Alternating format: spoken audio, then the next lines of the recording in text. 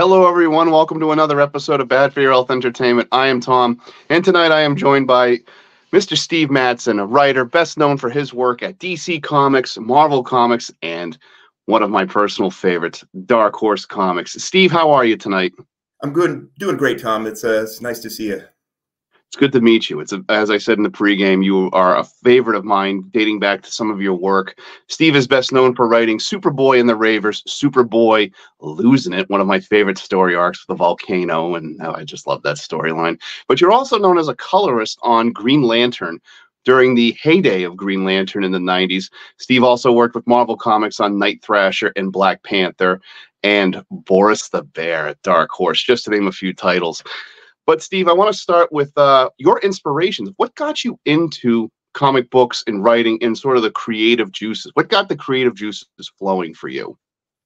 Well, you know, as a as a kid, I always loved to read um, all kinds of stuff. I mean, in grade school, uh, I loved Encyclopedia Brown. I don't know if you if kids today even know that book, but it's you know it was kind of for grade school kids where this boy detective solved mysteries. Love that stuff. That that led me to more reading, eventually to stuff like Lord of the Rings. And um, seventh grade, I started reading comics, and I always liked to draw. And it's like, ooh, I could bring those two interests together. And you know, ever since seventh grade, I wanted to get into comics. Just just kept drawing and writing and waiting for a shot. Were you the proverbial best artist in class? Uh, you know, some of my classmates will tell you that. They, yeah, they say, "Hey, you were the guy that was always off in the corner drawing," and it's like, mm, okay, I'll cop to that. Yeah. what were, what were the things you were drawing? Were you drawing like the stereotypical Batman and you know things like that, Superman?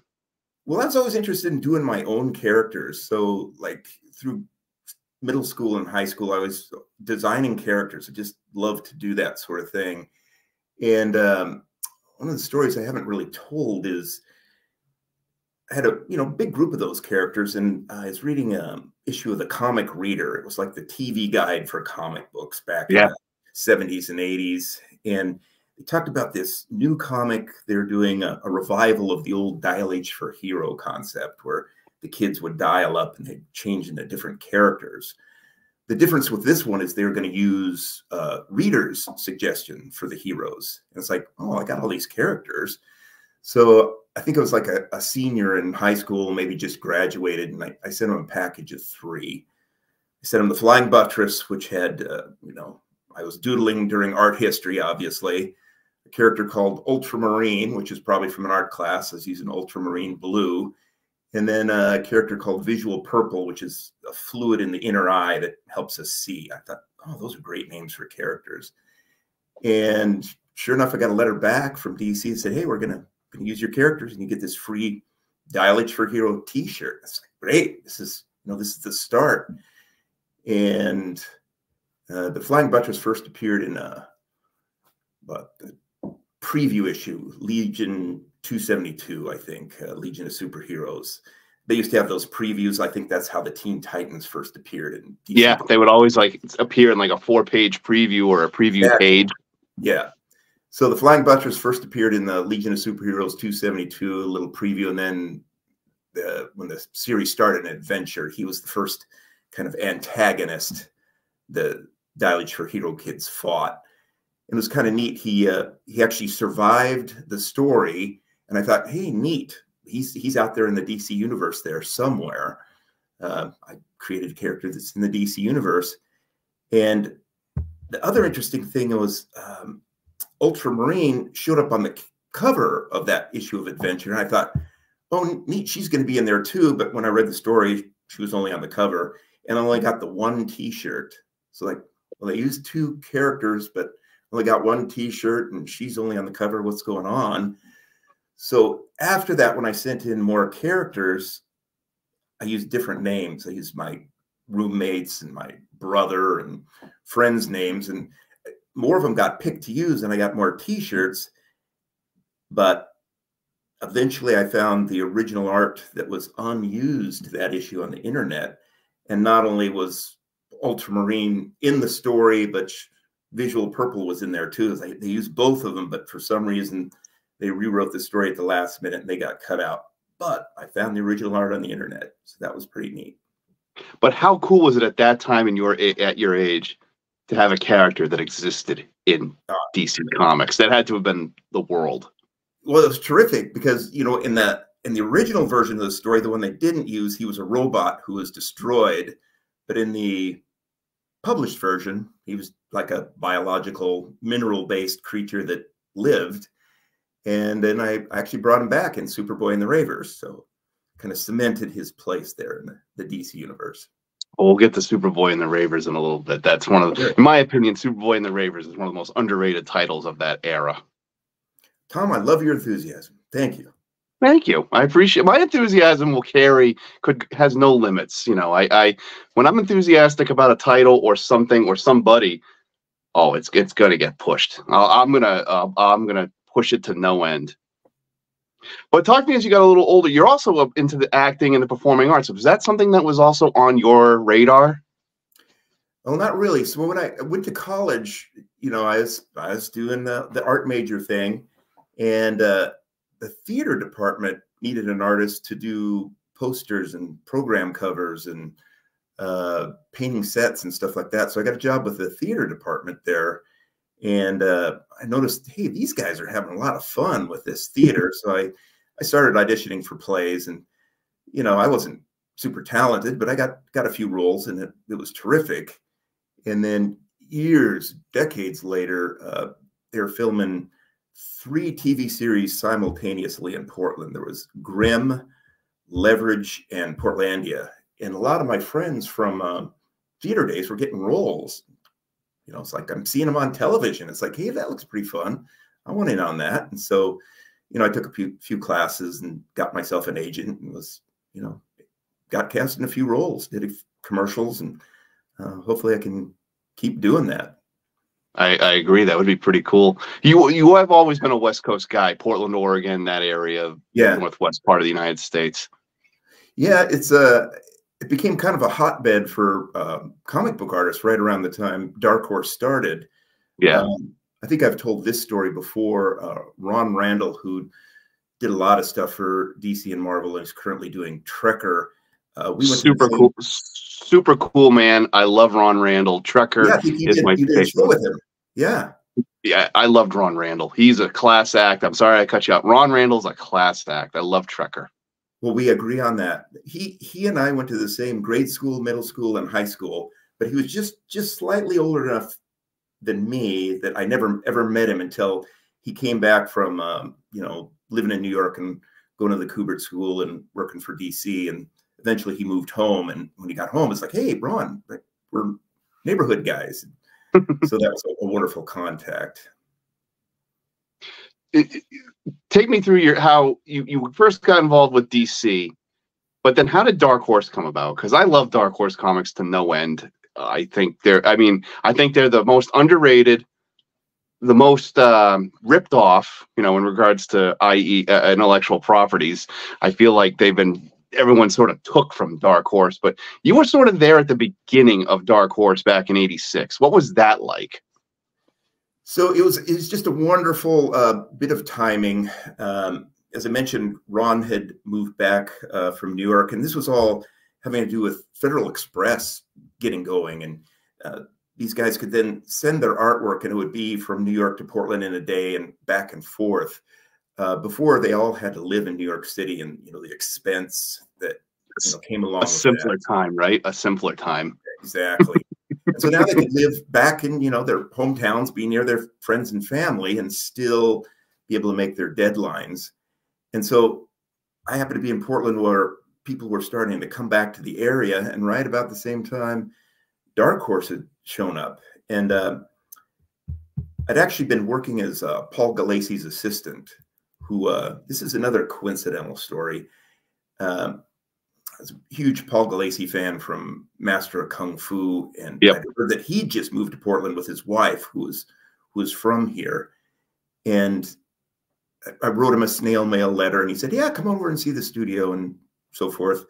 And I went over there, and the first thing he says to me is, "Hey, I think you know my wife." It's another. Uh, I'd, I'd gone to middle school and high school with Paul's wife, and she'd gone back to New York to fashion school or something like that. And they had met and came back here.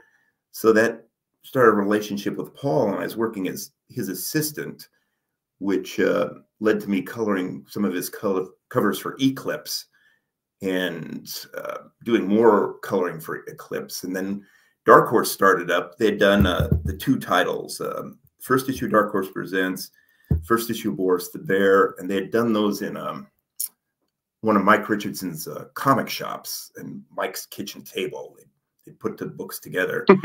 and since they had sold so well, they said, okay, we're going to start a comic book company. And they, they rented this little spot in Portland. And since I had already done a little bit of uh, professional work and all these pros hadn't, you know, congregated in Portland quite yet, I went to the comic shop where Randy Stradley was working and I bought one of his back issues and I took it up to him and he, he was ringing it up and he said, Hey, I wrote this comic book. And I said, No, there's no comic book pros that live in Portland, is there? And he said, Yeah, in fact, we're starting this this company. I said, Well, yeah, I, have covered these colored these covers for Eclipse and I did this and this. And he said, Hey, you know what? We need colorists. And so once they opened up their office, I just went in there every day and never left. Uh, there's no job interview or no answer an ad or anything. I just kept showing up and, you know, did their production work for them and that kind of stuff. And, you know, then they needed fill in stories, Tom. And it's like, I've got an idea for a four pager. I've got an idea for a six pager. And it just kind of happened from there. I miss the days of Dark Horse Presents. I always say that's the most missed book that I can think of. I miss the old eight page formats, the four page, whatever the setup was. I miss that dearly, dearly. Yeah, that was that was terrific. It was uh, you know kind of anything goes, uh, as long as uh, Mike and Randy liked it. That was kind of their one rule for Dark Horse. They were only going to publish stuff that they liked, and you know they did a great job with that.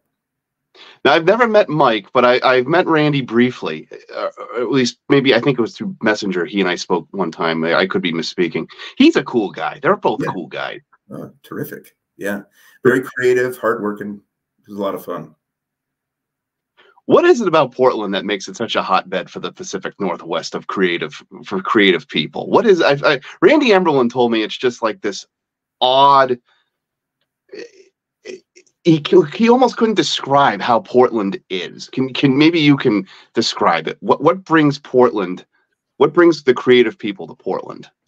Well, you know, prior to COVID and you know all the the stuff going on the last few years, you know, Portland's motto was keep Portland weird. Um, and I think they did their best to live up to that. And um, it was kind of a anything goes, very liberal, uh, very encouraging to artists, and uh, very friendly. Um, lots of networking networking opportunities to talk to other people in other artistic fields. You know, he just kind of feeds off each other. Um, you know, very friendly. I would love to visit the Pacific Northwest one of these days. It's just, you know, we I'm from Massachusetts. We sort of have, you know, our own places that breed uh, creativity, but it's like I always see the West Coast as sort of like the creative flux, the creative capital, if you will. Yeah, I I, I don't know if it's quite as hopping as it it used to be, but uh, I think it's still very welcoming to the creative class. And um, yeah, just come out and visit. Always wanted to see Portland. Maybe not the Trailblazers, but I would definitely love to see Portland. Uh, Celtics fan? You know, I got to say, yeah, I'd say, I, I, you know, Celtics fan, you know, Bird and all that. I, that was when I kind of was growing up. And then, you know, Rick Pitino. I remember the Rick Pitino days of the Celtics. You know, Larry Bird's not walking through that door. You know, just don't go to the restaurant with Rick Pitino. But yeah, Celtics fan. It's a it's a pretty good basketball team historically, Tom. I, I understand.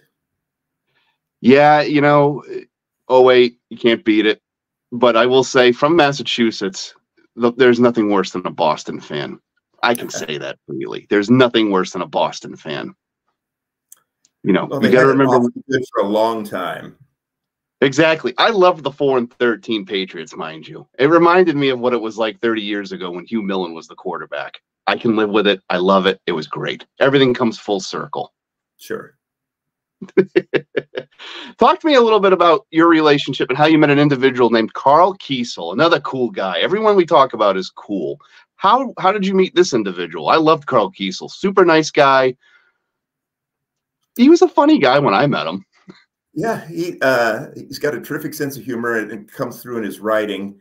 Um, yeah, I think the very first time I met him, he was probably still living in New York. I met him at a, a San Diego Comic Con, and he um, he was a very normal looking guy. You know, I just starting to go to these conventions, and you know, a lot of the artists were kind of you know living in mom's basement types, and I know what you mean. Uh, they're super super talented, and uh, you know, I love their work, but it's like, huh, I did not picture this guy like this, but you know, Karl was like a, a, normal looking guy. And I think I even said that to him. It's like, wow, Karl, you look like a normal person. And uh, he laughed. And uh, eventually he moved out to Portland with his wife at the time, Barbara. And, you know, I think they, they did some work at Dark Horse, but he was uh, always doing stuff for, for DC and Marvel. Uh, the big two. Leader, but then as a writer for, for a lot of stuff, Daredevil, Superboy, Superman, all, all those titles. Yeah. And uh, I remember he and his wife moved around town quite a bit, and I was always uh, on hook to help him move. So I, I became a buddy of his. I was the guy who would show up to help him tote his comic books from one house to the next. Now, now we're neighbors, and he actually lives lives pretty close. Now, when all this is going on, are you still reading comics actively, or were you just working? I, have heard stories where guys who are working on it don't read them, or vice versa. What was your story with that? Well, you know, at first I did I read everything, um, loved everything, and then uh, when you get into the business, you're always looking for. Uh, I, I wanted to work for DC and Marvel at the beginning, and so I was looking for properties that were underutilized. It's like so I was reading a lot of obscure stuff. It's like I wonder, I wonder if I could pitch this character to come fit in the you know the current DC universe, like you know the war that time forgot, or Ultra the mm-hmm. Multi Alien, or some of these more obscure things that hadn't been brought back in a while. And it's like DC has to protect those trademarks, so they're going to want to publish these things every ten years or so why not me? Because you want to you want to get your foot in the door somehow. So I was reading, you know, obscure back issues like that, and then I also liked uh, the more artsy fartsy kind of stuff like um, Flaming Carrot, Yummy Fur, some of those things. Uh, I was reading a lot of that. I loved uh, Mr. Monster in the '80s. Um, Mike Baron's The Badger. Uh, I thought that was really well written, always surprising. I'm going to spin it back to you now. I like your enthusiasm. well, yeah, no, those were terrific. Um, yeah, they're terrific books. long time. And uh, these days, um, I'm not reading nearly as much as I, I used to. Uh, no. Right now, I have a, a, project where I'm trying to read some books that I was never able to finish in high school English class. It's like, okay, I've got some little time now. I'm going to go back and read these things and see if I can get through them what kind of books? What are we talking here? Well, we're talking about like uh, you know Moby Dick and Don Quixote, um, 1984, things like that. 1984 and Brave New World. Those are those are both on the bookshelf. They're waiting. I'm going to try and read those back to back. Oh, Huxley with Brave New World. yeah. Um, yeah, good book. James Joyce's Ulysses. I could never get through that in high school. I'm going to give that my best shot now. It's a little wordy. It's a little wordy. Not wrong with 1984 though. You'll like yeah. 1984. Mm-hmm. The movie. uh, so yeah, so that's uh, that's what I'm reading these days. Uh, my, I think I mentioned my daughter's into comics, and she loves uh, Usagi Yojimbo. So you know, I keep up with that. And, um, but yeah, I, uh, the stuff my friends do, uh, Ron's Trekker and Karl's uh, Impossible Jones. Um, I watch, read all that stuff still. Is is that something you've considered doing, like an original character, and going the Kickstarter route? You know, I've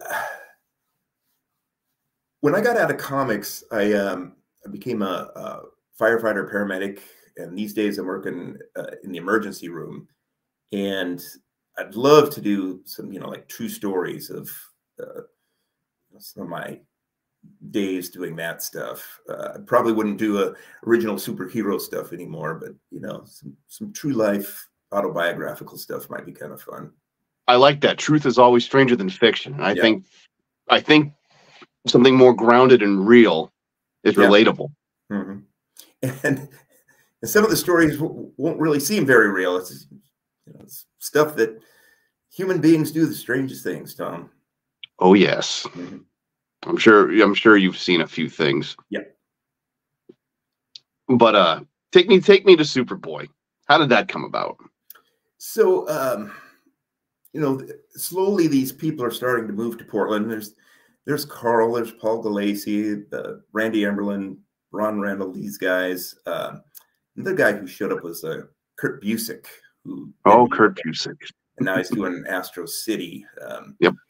And we kind of had this like Algonquin group where we'd sit, down and talk about stuff. It was kind of Kurt driven because he had he had just had his success with Marvels and he was you know thinking about other projects and things to do. And uh, I don't know how I got an invite. I was just happy to be have a spot at the table. But you know, he they'd pitch concepts and you'd offer criticisms or ideas, additions, and uh, you know, Karl was there, and eventually Karl had some sort of secondary project to do while he was working on Superboy and said, Hey, I can't make the deadlines for both things. Can you help me write Superboy? Yes, Karl. Yes, I can. I will help you write Superboy. I will help you write Superboy. And it was it was just based on, you know, these discussions we'd sit around having about story ideas and uh, pitches for you know he, Ultra the multi alien or the world land that time forgot, that kind of stuff. And you know you get criticism and feedback, and apparently they they liked my criticism and feedback. So I ended up um, doing fill-ins for both Karl and Kurt. So that was huge opportunity. But at the time in the industry when you got Superboy, that was a hot time yeah, uh, comics were selling like hotcakes, yeah. a lot. Like I remember it back in the day. They, it was, you know, the revolution had happened. I don't mean to use air quotes on that, but it was just like every the death had death had already death had already occurred, right? Superman right. had already died. Right. That was uh, that's kind of where Karl came into uh, his writing. He was the same thing with him as an inker. He was always sending story ideas to the you know the editor and the writer and that kind of thing and you know they liked his ideas. Uh, i think he'd done that with suicide squad and he was doing that while he was inking stuff for death of superman. And then so when they started doing the big return of superman arc which you know steel and superboy and the eradicator and the cyborg um, karl was one of the main architects of that. And so you know it's just you know just impressing people with your ideas and your enthusiasm. And uh, that's how he got into it. And, you know, he gave me kind of the, the same helping hand. But you had the keys essentially to Superboy with losing it. Losing it was a cool, oh, I think it was like what five or six issues back then. I, my favorite cover of that was the one with the volcano and Super, Connor. Yeah, just... that was a lot. That was funny because it was uh, like uh, Tom Grummett did sort of a, a, movie poster kind of thing with that. You know, you're right. it looks exactly like uh, the Towering Inferno, and I, I, I, have it right there. Something of that t- of the '70s. You know, I have a lot of your books that you've done right here, including my favorite Night Thrasher issue. But it was. Uh, don't tell me it's the one I don't have. I will be put off this. There it is. You know, just how it has all the faces on the names, and you can I can almost visualize it sort of being like you know Steve McQueen or Robert Redford, just how they're drawn and spaced apart. Yeah, uh, Karl was a huge uh, Jack Kirby fan, and that uh, Victor Volcanum was uh, the villain of that issue. Was a super obscure villain in one of Jack Kirby's uh, Jimmy Olsen stories. And you know, I never thought I'd see that guy again. So it was wonderful to work with one of Kirby's characters. The villain. I love how he just labeled that on the title, Look on the cover. The villain. The villain. How did Superboy and the Ravers come up though? Of spinning Superboy into another title because it, I, I have to admit, I almost forgot about Superboy and the Ravers in a way as I got older. And it's like, Superboy had two titles at one point. yeah, well, it's it's like we were talking about before. Comics were hot; they were making a lot of money, um, both the companies and the writers and artists, because they were paying royalties back then, and so they wanted to, you know, Superboy was hot. Can we exploit that? And uh, they asked Karl, say, "Hey, can you come up with a, another Superboy title?" And he was he was busy doing other things and working on the regular Superboy, and had some ideas for going in different directions. And so same thing. He brought me in uh, and said, "Let's let's work on this. Let's figure this out. Here's an opportunity." And we've got a, a little bit of heat for the concept of Superboy and the Ravers being a little stuck in the the 90s, but um, it was our idea is we wanted a book that had a logical reason for teenagers to get together on a consistent basis. No, and it was set, it's ahead. a 90s story. It's a it's a 90s story. Right, right. So yeah, it's it was perfect to us in that this is a logical reason. These guys are going to come together and go to this party. That's what the teenagers I knew were doing. They weren't out fighting crime. so was like, this is a logical reason to get together uh, every month. And you know what? These parties and such, you have the romances and the the fist fights and all that kind of stuff too. And you just ramp that up to a superhero kind of level. And it makes sense for them to get together every month this way. So that's kind of how it started. 19 issues though i applaud you for that that's i look back do you look back at that with fond memories of of creating like a, a, a i don't want to say a lost chapter but a, a, lost chapter of the dc universe at at its hottest time well it's you know it's interesting coming back to comics selling an awful lot back then i think the money people had a formula and superboy and the ravers sold very well at the beginning but you know, there's kind of a downward arc, and they're they're looking for a certain point where it's like, hey, you know what? If we cancel this title and start a new one, we'll start higher, and yeah, there'll be a downward arc again, but it'll be selling more than this one during its mid issues. So, you know, we had planned kind of a, a storyline to go to about 24 and if we had made it that far, we'd kind of uh, blow it up and start with a new concept with issue 25. And but at some point, the money people looked at it and said, "Hey, we're going to keep making money on this. It's worth doing until about issue 16 or 17, and then we're, you know, probably cancel it and you know start something else up that will sell more because they they wanted that money. That was the money. It's all about the money in back then." And we said, hey, you know what? We're, we're awfully close to finishing this. If you could give us like four or five more issues, we could end it with 19. We'd have to you know, compress it a little bit, but um, we could end it on a, a good note. And they said, oh, you know what? Okay. So I, I applaud them for doing that. They gave us, I think it was four or five extra issues to finish telling it. And we still had to compress to get it the way we wanted, but we we told pretty much the, the big overall arc from issue one to 19. Is that is that that's got to be difficult though to compress essentially six issues into you know three or four or five?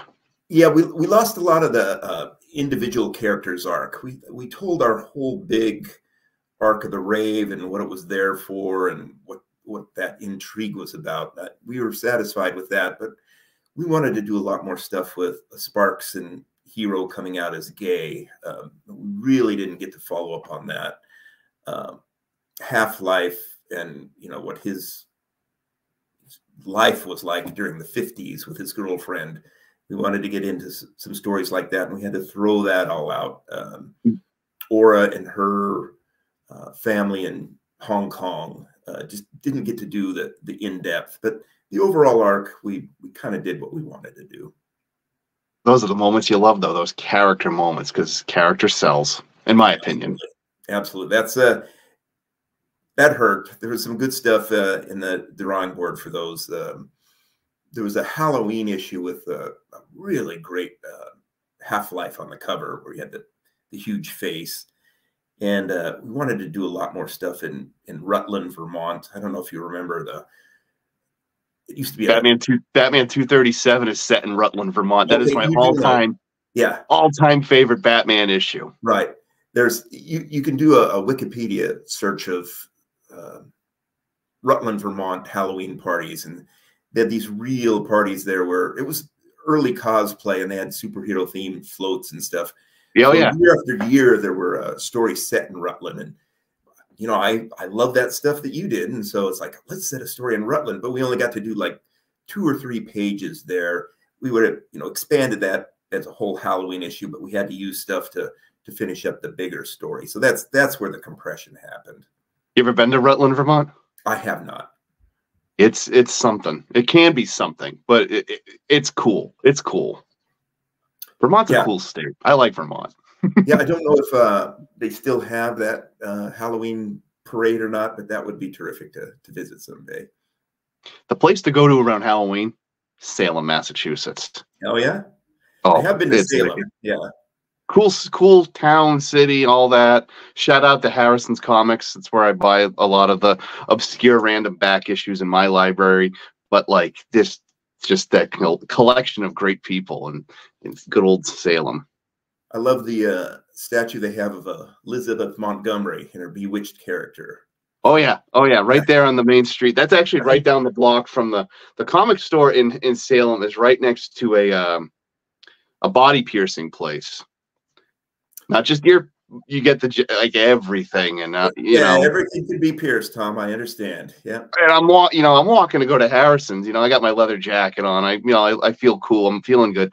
Guys like hey man you want to come no I'm, I'm good I'm, I, I, you know I, I basically like duck in and hide in the, the hellraiser section all the natural holes in my body i need this this is yeah enough. yeah that's that's it but no harrison's is cool i love i love salem it's a great it's a great place great place for Halloween. I want to make my way to Sleepy Hollow, but Rutland, like you said, Batman 237 is like that. That Neal Adams, that, that's cool. I love that. Talk to me about Night Thrasher. Such an underrated character, such an underrated book, and my favorite issue from your run is yeah. 19. I love oh. 19. Uh, temper tantrum. Temper yeah. tantrum. Yeah, you know, um, that was a similar situation. Uh, Kurt had signed to do a um, four issue run of Night Thrasher, uh, the Money Don't Buy arc. Um, yep. And Marvels was a huge success for him, and he was getting other offers and other stuff to do. And he said, Hey, Steve, I, I don't think I can finish this Money Don't Buy arc. Uh, I think he did the first one by himself, and then, I helped him script the second one, and then we co-did three and four, and um, you know, it's just just kind of helping him out. And uh, Tom Brevoort, the editor, liked what I was doing, um, and he gave me that issue 19 as a fill-in. And then Kurt came back, and we did uh, another two issues uh, together. And you know, I, I thought it turned out pretty well, and and something we did in Superboy and the Ravers is we tried to use a lot of existing characters um, in DC Comics. We wanted, you know, he had a whole universe to deal with, but I wanted to visit places that we'd seen before. And it was the same with Night Thrasher. Um, that Tantrum character had appeared in a couple of different issues, and he he was kind of Night Thrasher's main villain. Um, yeah, just hadn't seen him very long, so uh, I, I wanted to bring him back, and uh, that's that's how that worked. I love Temper Tantrum. I love the fill-in issue. I love that whole run, but I do love the the. Well, first of all, I love the cover. The cover just screams, you know, the, the whole use of drugs and things like that in the issue with the multiple faces. I just, I think it, and the, the, the story of the old people fighting back, uh, to me, harkened a little. I, am not saying this was an influence, but it reminded me a lot of re, uh, of uh, Charles Bronson's Death Wish 3. I don't know why. When I was reading, it struck me as that, like, where they finally, the locals had enough of this gang and they're going to fight back, well, you know, with Charles Bronson. That's not, I'm not saying that was your influence, but that's what it reminded me of. yeah. I mean, the, the Tantrum character was you know, kind of a, a bad, bad guy. And So I just wanted to try and you know redeem him somehow, and you know try and make keep the stakes high. Um, to brought in the family and the the neighbors and that kind of stuff. And uh, thanks for your appreciation. I, I enjoyed working on that issue. Well, I, am glad you did it. It's, it's going in my my favorite. I have you know every I think every comic fan has their box of favorite issues, and Night Thrasher 19 is in there. Yeah, um, it's a very early issue by uh, Tom Derenick, who went on to do lots of really great Justice League stuff for uh, DC. I don't think he's super proud of that issue because it might have been even his first.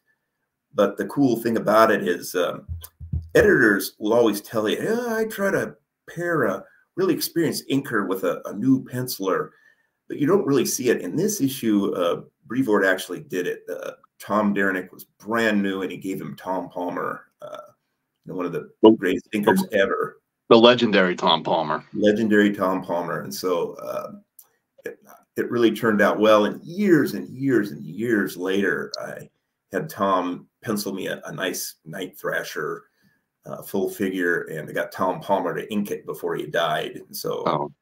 uh, it's you know, it's priceless to me. And this is the current Tom Derenick, not the early Tom Derenick, the super skilled Tom Derenick of today. The polished Tom Derenick. Yeah, looks great. I love that.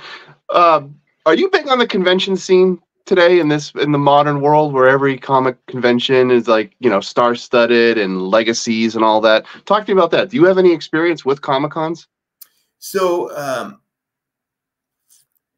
I, I, mentioned my daughter being into comics and yeah. my son doesn't really read the comics but he likes the marvel movies and he likes gaming and all that sort of stuff. And when i was in uh, pro I think we have a technical snafu with Steve Mattsson right now as he was telling me a story about his uh, son being a fan of the comic book movies and games. Um, right now, one of the biggest selling games in the Marvel lexicon is the Spider-Man 2 video game. Uh, the the what Marvel has done with Spider-Man Insomniac Studios is really one of the best selling games of of its time and of all time. But I would like to see more superhero games and movies focus on the characters that that some of the lesser known writers and artists have done. I would love to see Superboy that Steve had worked on done, even if it was done on a direct to video level. Um, I don't know if that'll ever happen. I hope it does, truthfully. But uh, I have to say, as we're as we're talking here, and we haven't we've lost Steve. Steve will be coming back, I hope, momentarily.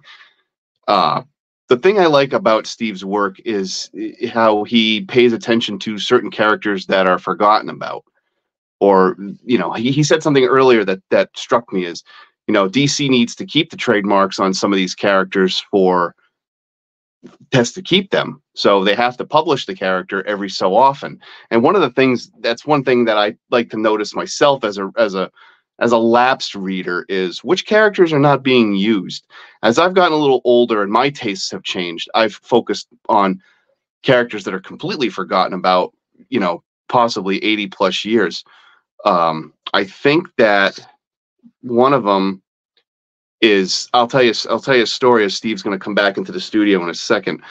I like to focus on characters that are pulpy. You know, I've been reading a lot of the Spider and the Shadow, and uh, um, I'll tell you, it, I make no secret about this. Uh, Marilyn Knapp and I have done a review on the Tom Conway Falcon pictures, and I'll tell you, I'm I've do, I dove in head first with the George Sanders Saints movies, and I'll be starting to watch the Hugh Sinclair Saint movies. I like those sort of crime driven B movie titles. You know, those are characters that are long forgotten. I know the Saint is immensely popular with the Roger Moore television version, and if you want the Val Kilmer big budget version, but I would like to see some of those characters return, and and that's why I've enjoyed talking to Steve so far because this character, you know, th there's a wide variety of characters that can be used in DC, Dark Horse, Image, Marvel. Time to focus on some of the lesser known characters.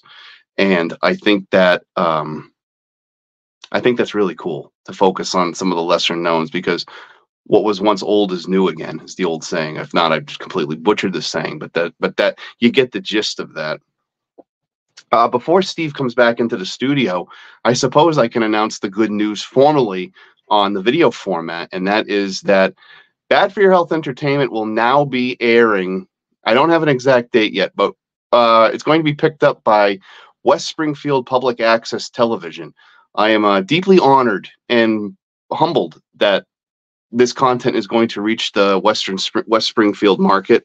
I don't have dates and times yet, as I posted on a uh, the other day. But once I get those dates and times, I will glad I will post it so we can celebrate, if you will. Have a have a you know knowing that this is going to be picked up on a public access channel in the western part of the state of uh, Massachusetts. I'm honored by that, and I can't wait to it. Can't wait for it to drop. I don't know what the first episode is going to be. See, the, the trick is I'm going to give them one of my older episodes that I'm a fan of. And there's several uh, as we're as we're flirting with episode 150 here on, you know, Facebook and YouTube. Um, I don't know exactly which one. I've narrowed it down to about five or six. So when I reveal which one is uh, I will reveal which one will be the pilot episode for the Western Springfield Public Access. And I can't wait for that. That's going to be tremendous. And as I said earlier, dates and times are going to be announced sometime, hopefully within the next week or two. As as we move forward with Bad for Your Health, I don't know exactly what the next episode's going to be. I want to focus a little bit on some of the uh, B movies of the 40s, and uh, those are going to be tremendous, as we'll talk to them in a second. And uh, Steve is coming back on. Welcome back, Steve. Sorry for that. That's all right. I love. I actually love snafus. I love when that happens because it makes you think on your toes. I remember one time I was watching an NFL game. I think it was the the power outage Super Bowl between the Ravens and the 49ers. Okay. And uh, the ones that can think on their toes were the ones that were talking. Like Dan Marino was kind of sitting there like, you know, and, and Boomer Esiason and Bill Cowher kind of carried like the power outage by just having a natural conversation. So when snafus happen, I try to go on my toes. Nicely done. Thank you. I was thought you had said something about your son being a big fan of the Marvel games, so I kind of went on a tangent about how Insomniac with the Spider-Man games is is absolutely killing it. I hope that was what you were going to say. you know, it's it's you mentioned the video games. That's funny. I I don't play video games. I don't gamble, and I don't do crack. Not because I know how bad all those things are, because I'm afraid I'd really enjoy all of them. Just stay away from that stuff.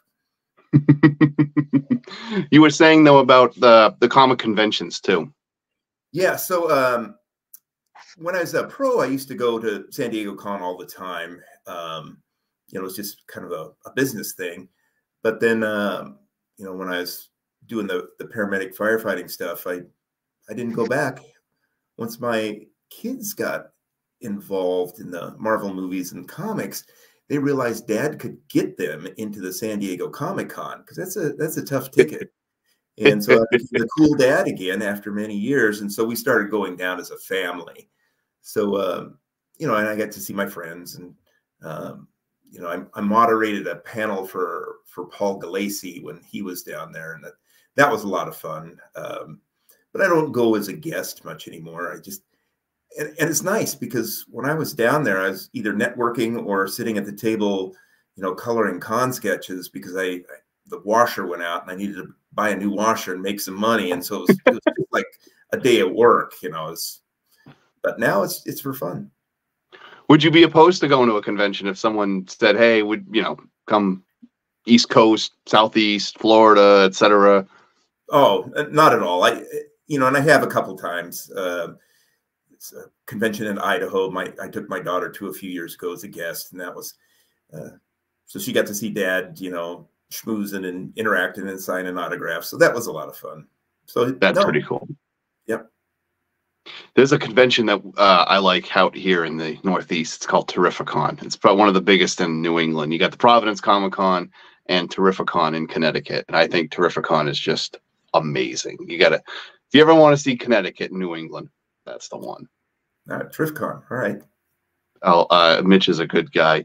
uh, you're not the guy that's going to be sitting there charging 60 bucks for an autograph like one of the, some of these other legends i'm sure you've seen horror stories of at conventions you got any good ones you can share that don't that don't uh, demean anybody yeah it's, it's, it's, tough to name names but uh, you know i just mentioned uh, i think in our pre-chat that there's a con in portland right now the uh, fan expo and it's yes. one of those big mega traveling ones and they've got a huge number of celebrity guests that they bring around. You know, the the guys from the new Ahsoka TV series and Walking Dead and yeah, uh, all those kind of guys. Um, but then they have local com comic book people and you know some that they bring in. And I was chatting with some of my friends and like Chris Warner was charging like a, a dollar a autograph unless you wanted Predator number one autograph, and then his price was higher. Uh, you know, and they they charge extra for comics that are going to be graded. Uh, but otherwise, you know, the the guys I respect, they're they're keeping the just the regular comic books uh, affordable, even with the signature. I'll name drop. I'll tell yeah. you, Dan Dan Jurgens. I love Dan Jurgens to death, but when you go up to his table it's like Superman 75 is just like 20 bucks for the pop. Any other story from Death of Superman, maybe 15, 10 for um, Thor or something like that. What uh, what the other titles he's best known for, and then it's like five for everything else. So me moonlighting as as a good guy and being being me, I went up to him with Justice League International, and he's sitting there. You know, he's doing his thing. He's got his glasses like that, and I'll, you know, bring Justice League International. And I was like, hey, Dan, how's it going? He just kind of goes like, Justice League International, huh? He was like, well, thank you. You know, we're talking about Booster Gold, et cetera, et cetera, et cetera. Right. And, you know, as I go like this, you know, with the wallet, he just goes, oh, no, oh, no, you're good. You're good. Oh, you know, I only had two. Of, I only had two of them too, so it wasn't like I brought them like a stack. Right. Because uh, you know you see people like that, and I was just sort of like, "Thank you, sir. We had a good chat. We shook hands, off our merry way." Randy Emberlin was the best when it came to that, though, because he, you know, inked Carnage, and uh, it was like that book was like twenty five. Other Spider-Man like three seventy five or four hundred was like ten. But then when I went up to him with Dark Horse Presents, he was like, "Oh my god." you know, he's like, I don't see this book very often. And then, you know, we had a good chat and it's just like that that's how we that's how I try to win you guys over by showing the appreciation for the work that may have fallen through the cracks or out of the folder or that's the those are the books I go after.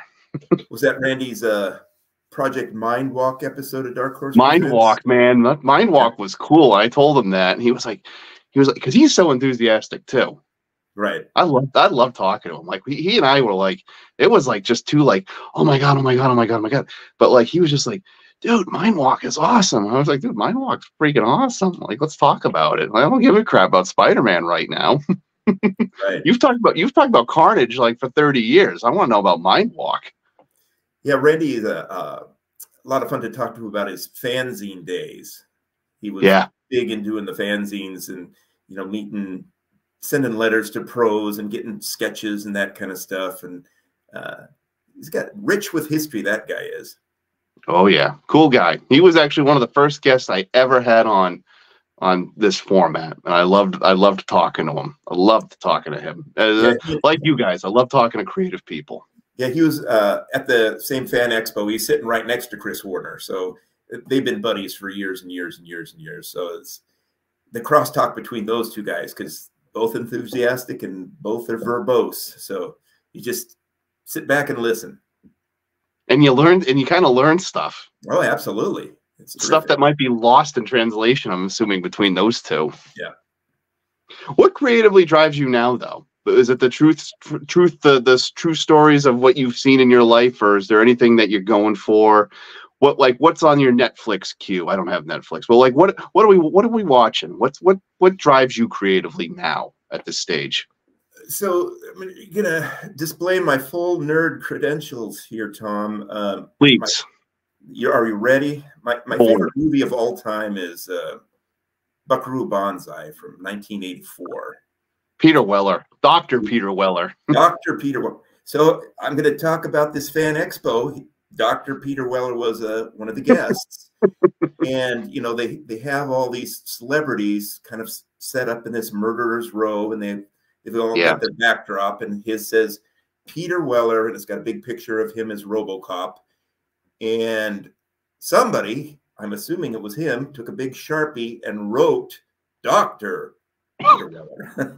what it's a, he's a doctor in Renaissance art, or or yeah, that's I think that's what it is.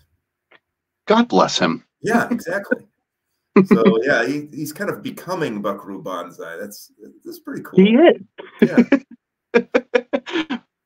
so I mentioned what that makes that what makes ahead. that your favorite movie though? What makes Buckaroo Banzai your favorite movie?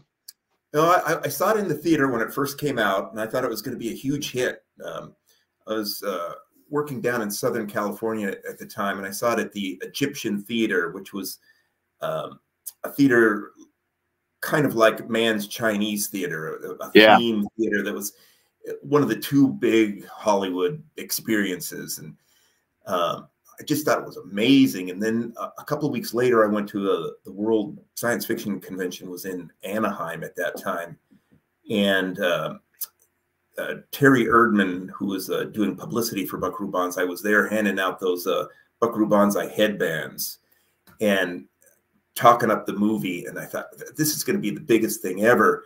Um, and I mostly enjoyed it just because it was so surprising. Every time I thought they were going to zig, they zagged.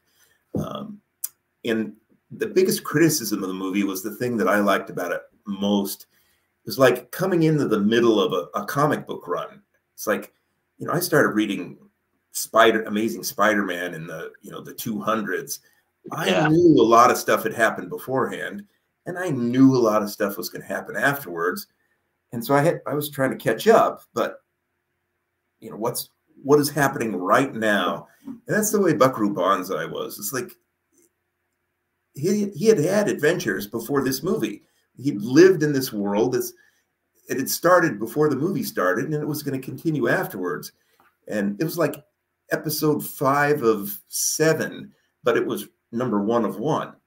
Yeah. So that's frustrating to some, but coming from comics, I was okay with that. I know yeah. stuff happened before I started watching.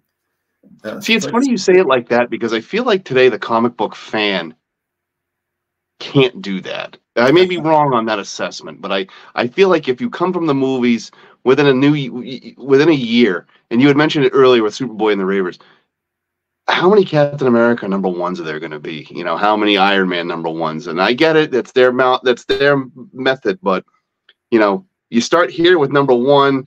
There's the downward trend around eleven but you remodel at number one, you're like at the same sale you were at number four 16 months ago. Yeah, it's it's tough. Um, you don't you don't know how to market or sell it. You know, just just tell great stories um, and let the fans find it. I, you get these marketing people try to manipulate that, but I, I understand it's a business and they're they're trying to make money, so they got to do their job too.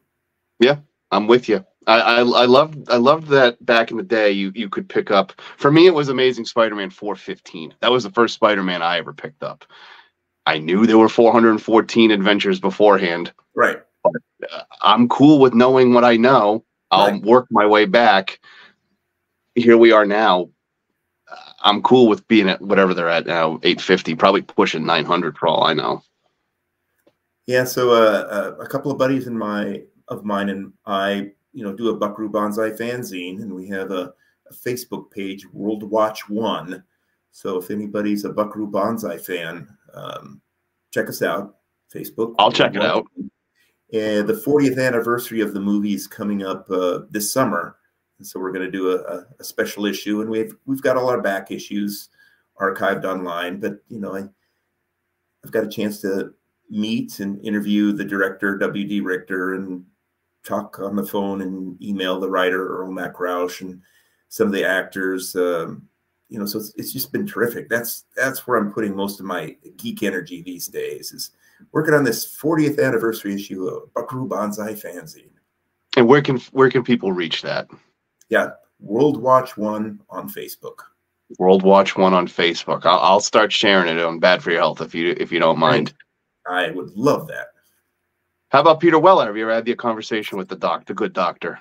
So um, I had a wonderful opportunity a few years ago. Um, the New York Film Festival was having a screening curated by um, Kevin Smith of Buckaroo Banzai, and it happened to be the same weekend as the New York Comic Book Convention.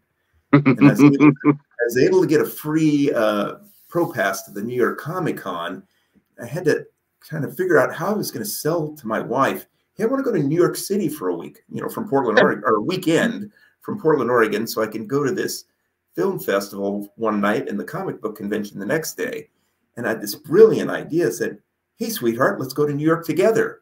And she said, Yes. So uh, I got to go see the, the screening. Um, this Peter Weller and John Lithgow was there and with Kevin Smith moderating. So uh, that was terrific. He's he's got the slight affectation. He's like the guy who would write doctor on his banner behind him, but super smart guy. Uh, lots of insights, uh, lots of great stories. Uh, really is becoming Buckaroo Banzai. And, you know, will always be known to the world as RoboCop. Yeah, um, that's one of those great subversive movies. You know, it's like you think RoboCop's, uh, you know, a hero, that you know, and he is, but the the bad guys were the the people who created him, and the the law and order trying to fix Detroit. Those they were telling a story with that, and they had an, a, a political agenda. You know, it's funny you say that because so many people don't get that, and I, I had to watch an interview with Weller where he was talking about the biblical references and Frankenstein, Mary Shelley, and it, Job, and all these great things in the story that Verhoeven and all them were telling. I was just like, wow, he he like peeled, you know, he went way Bed Bath and Beyond. Yeah. yeah, he was he was he went there.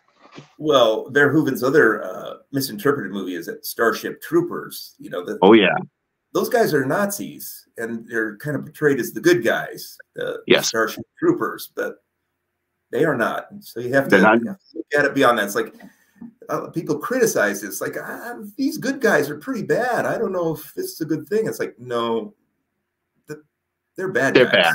They're bad guys. Yeah, yeah. Just because they're killing bugs doesn't doesn't make them good guys.